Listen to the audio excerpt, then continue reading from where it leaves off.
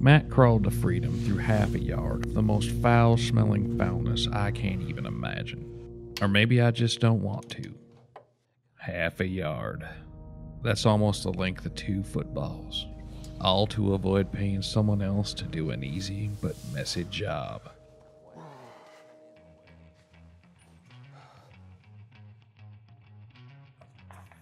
Transmission cooler lines play a vital part in, well, managing transmission temperature. Like most things I'm coming to realize in the Discovery, it's not a very demanding job in the way of expertise or tools.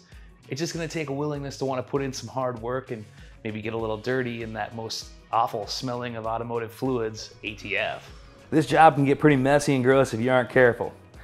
For anything that involves working on the business end of one of these old rigs, I definitely recommend getting a set of coveralls.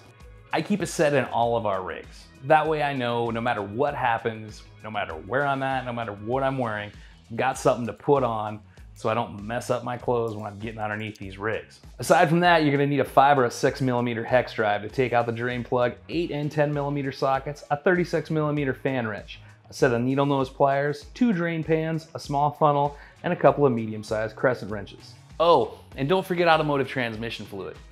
The Rave manual calls for Dexron 2D, an out of date formulation. Now all Dexron fluids are supposed to be backwards compatible, but we're using Dexron 3 because it's closer to the 2D formula and a heck of a lot cheaper. You're gonna need about eight quarts to make this happen. The cooler lines themselves are ones we ordered from Atlantic British. The internal product number for the kit is 9355B, and at the time we purchased it, it retailed for $199.99. You can find links to all the tools, fluids, and parts in the description below. Before you start this job, there are some safety considerations we should address. Let the vehicle cool down before you start this process. You're going to have to be reaching around your exhaust lines and catalytic converters, and you don't want to get burned. Make sure the vehicle's parked on a flat surface with a parking brake set, and it wouldn't hurt to chock the wheels. Disconnect the battery and put the key in your pocket before you crawl under the vehicle. We're gonna go ahead and use a six millimeter hex to drain out this plug right here. You can see it, but it's this plug and it is on the bottom of the transmission pan. Gonna get a drain plug pan over here underneath it to catch the mess. That's step one.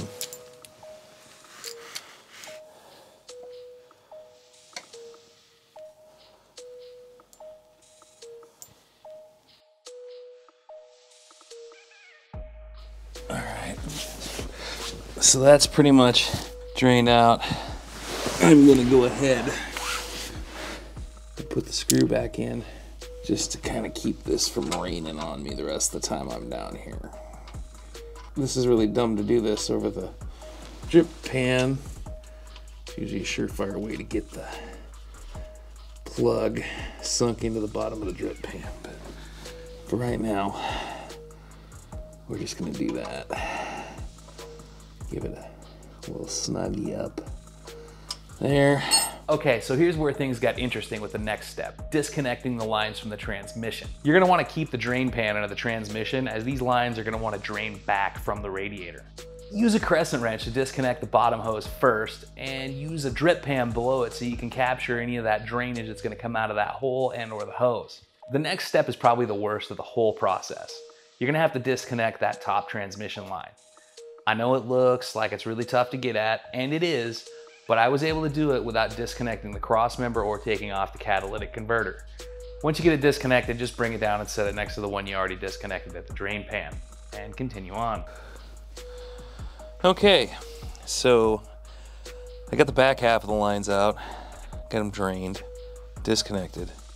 Now I'm going to start working on zipping my way down the length of these lines to the front, disconnecting the brackets that are attached to it. Um, so far I've only seen two. If I come up with more, I will let you know. Looks like they're a 10 millimeter bolt to get them out, and then we should be able to get our way to the front, disconnect up front, start reattaching up there.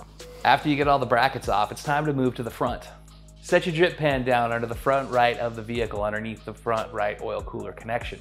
I've heard people say that you need to take the grill apart to get this cooler line out, but I'm thinking that's not the case. I think I may have just found a little loophole. You see, if you look right in there, you'll see the nut that we're after.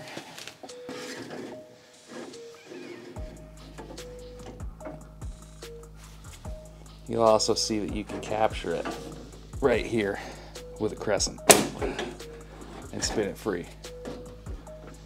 Just right through that hole.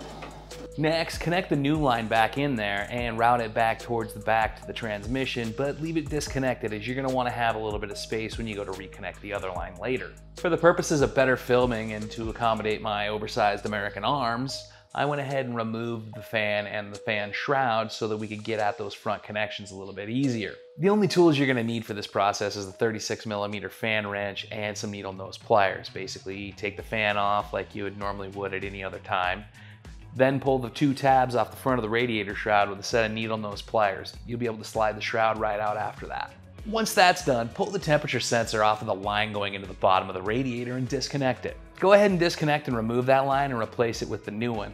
But I will caution you, go ahead and connect it to the transmission end first before you connect it to the radiator end. It made it quite a lot easier having a little bit of flex and play in the hose for me to go ahead and get it reconnected when I was underneath there. You can reconnect the lower line to the transmission once this is all complete, then go ahead and connect those two lines back into their mounting brackets.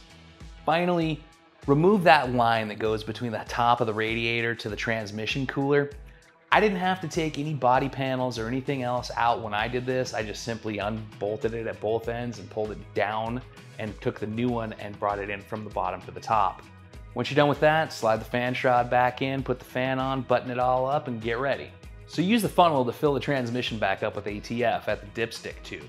Check the level as you're filling it up on the dipstick after about every quart or so. When you get about halfway into it, it's gonna show inside of the normal operating area. Now you're gonna have to go back to the cab. You're gonna start the car and with your foot on the brake, you're gonna cycle through all of the gears in the transmission and then put it back into neutral. At that point, you're gonna set the parking brake. You're gonna continue to fill automatic transmission fluid in through the dipstick, filling it up. You're gonna get it in between the range on the dipstick, the normal fill range, and you're gonna be done. And it should be right at about eight quarts. Once that's done, go ahead and get cleaned up and head for Mexico.